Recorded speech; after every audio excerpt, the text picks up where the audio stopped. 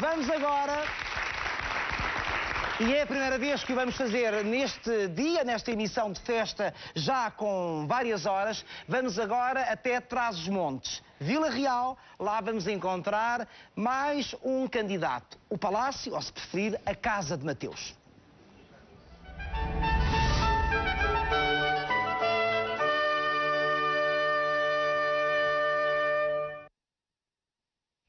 Entrar nos jardins do Palácio Mateus é uma experiência única. A Casa Senhorial é uma verdadeira montra de todos os elementos do estilo barroco.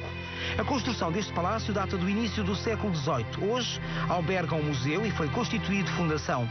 A paz e a harmonia que todo o espaço transmite deixam apaixonados os visitantes. O Palácio de Mateus é um dos candidatos às sete maravilhas de Portugal.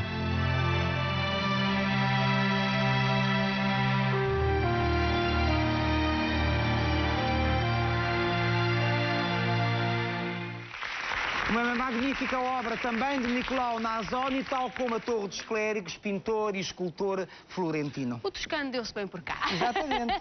Vamos eh, então saber o que dizem os habitantes uh, da região para que todo o país vote na sua casa, a Casa de Mateus.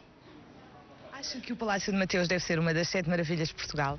Claro que sim, isto até porque a Casa de Mateus é um dos momentos mais representativos do Barroco, do norte de Portugal, porque a casa é muito bonita. No interior temos a primeira edição ilustrada dos Lusíadas, mandada a fazer pelo Quinto Morgado Mateus. Não só pelo aquilo que representa, não só no norte do, do, país, porque não há um outro, não há um monumento igual a este, mas também mesmo a nível nacional não há uma casa igual a esta, não só em termos uh, arquitetónicos, não só na sua beleza, mas também em toda a sua história, em tudo aquilo que ela representa para Portugal e para nós. A arquitetura é única, tem jardins maravilhosos que é dos poucos a nível de, de estética que há no país.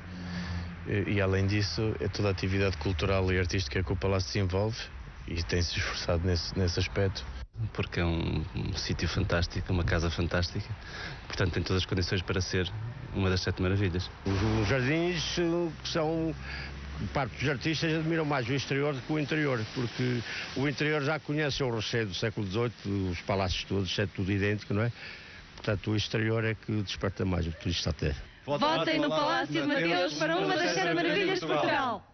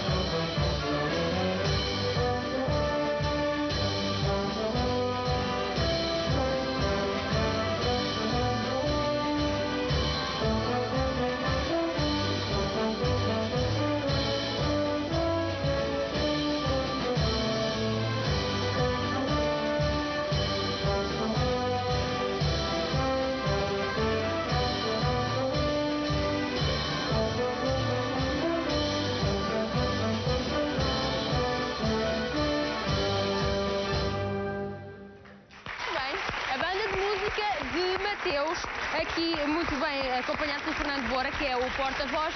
Dizia-me que os transmontanos são muito malandros. Porquê, Fernando?